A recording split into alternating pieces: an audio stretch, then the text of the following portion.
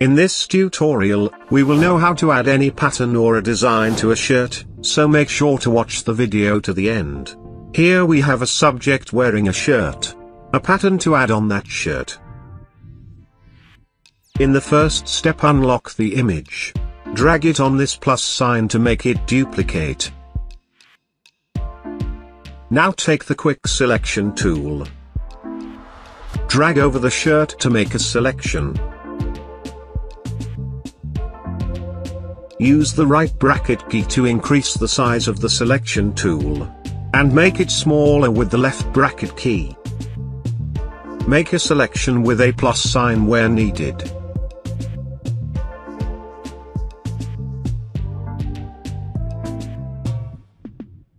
After making the selection of the shirt click on the Add Layer mask to cut out the selection of the shirt.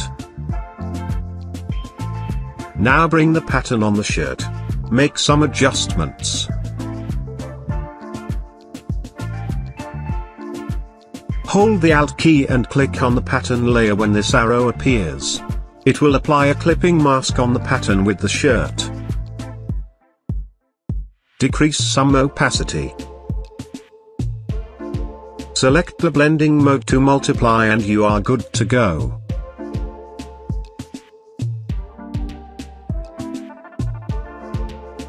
Right-click on the pattern layer and select the blending option.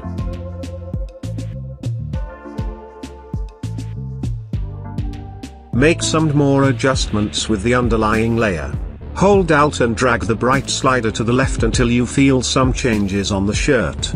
Hit OK to confirm the changes.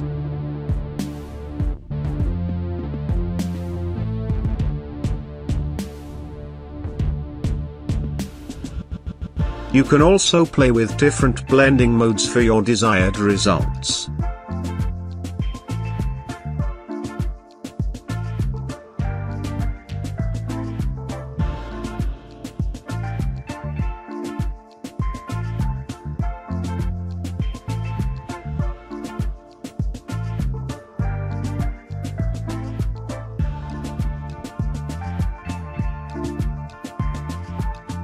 Here we have another pattern, we will use the same technique to add this pattern.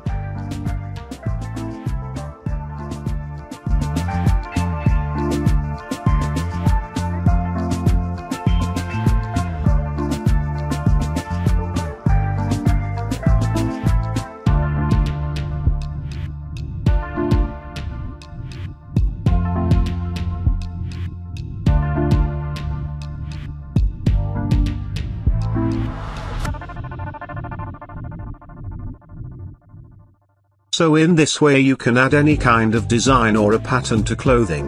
If you learn something from this tutorial please leave a like and make sure to subscribe to the channel for more tutorials thanks for watching.